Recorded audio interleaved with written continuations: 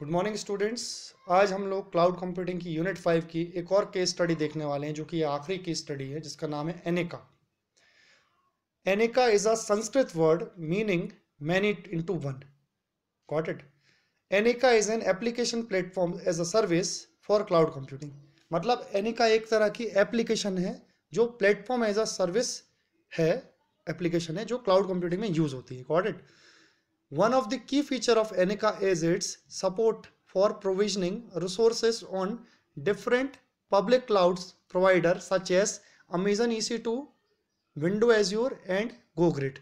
इसका सबसे important feature ये है एनेका का कि जो पब्लिक क्लाउड प्रोवाइडर हैं जैसे कि Amazon E C two window Azure और गोग्रिड इनको ये सपोर्ट करती है और इनको आपस में जोड़ती भी है एक तरह से हम बोल सकते हैं it next point This uh, signifies ability to support multiple runtime environment and multiple programming models with one middleware platform. जो कि मैं अभी बात कर रहा था आपसे कि ये इसकी एबिलिटी होती है इस वाले अनेका की कि जो मल्टीपल रन टाइम एनवायरनमेंट और मल्टीपल प्रोग्रामिंग मॉडल जैसे हमारा अमेजन है विंडो एजर इनके अलग अलग मॉडल हैं। इनको आपस में एक मिडल वेयर प्लेटफॉर्म प्रोवाइड करती है ताकि यूज़र आपस में यूज़र इन सभी को एक साथ, एक ही जगह पे इस्तेमाल कर सके। तो ये एनेका का काम होता है, ठीक है? अब हम इसके आगे और पढ़ते हैं, एनेका के बारे में। Aneka is a dot net based application development platform as a service ये एक तरह की डॉट नेट बेस्ड एप्लीकेशन है, जो किस तरह का डेवलपमेंट करती है? प्लेटफॉर्म एज अ सर्विस की।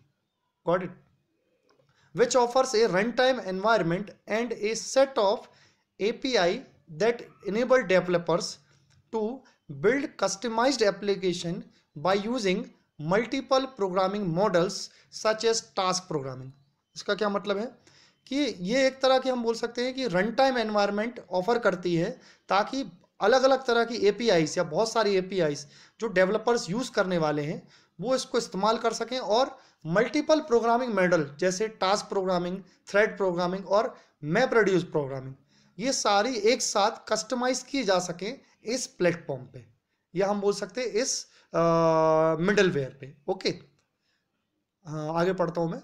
And a set of APIs that enable developers developer को इनेबल करती है to build customized application by using multiple programming model such as task programming thread programming and map reduce programming which can leverage the compute resources on either public और private cloud इसका मतलब ये है कि जो ये सारे डेवलपर्स ये कस्टमाइज कर रहे हैं अलग अलग प्रोग्रामिंग मॉडल जैसे टास्क प्रोग्रामिंग थ्रेड प्रोग्रामिंग और मैप प्रोड्यूसिंग प्रोग्रामिंग इनके जो रिसोर्सेज कंप्यूट होंगे, वो या तो पब्लिक क्लाउड में या प्राइवेट क्लाउड में स्टोर हो सकते हैं या वहाँ से लिए जा सकते हैं। समझ में आ रहा है सबको ये?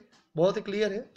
Next point in terms of cloud computing Aneka is a platform and a framework for developing distributed application on the cloud मतलब अगर हम क्लाउड कंप्यूटिंग के टर्म्स में बात करें तो हम ये कह सकते हैं कि एक ऐसा प्लेटफॉर्म है या ऐसा फ्रेमवर्क है किसके लिए? डेवलपर के लिए, जो अलग अलग प्लेटफॉर्म पे या अलग अलग एप्लीकेशन क्लाउड पे बना रहे हैं।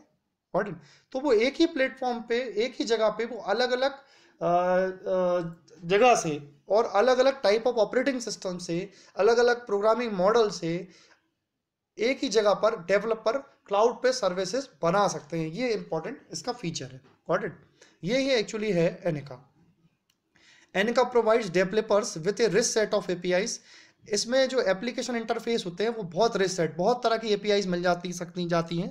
जैसे हम बोलते हैं ना कि जावा में एपीआईज बहुत सारी होती हैं, यहाँ पर हमारा, जो हमारा गूगल प्ले स्टोर है, या हम बोल सकते हैं जहाँ पर ये एंड्रॉयड की एप्लीकेशन बनती हैं।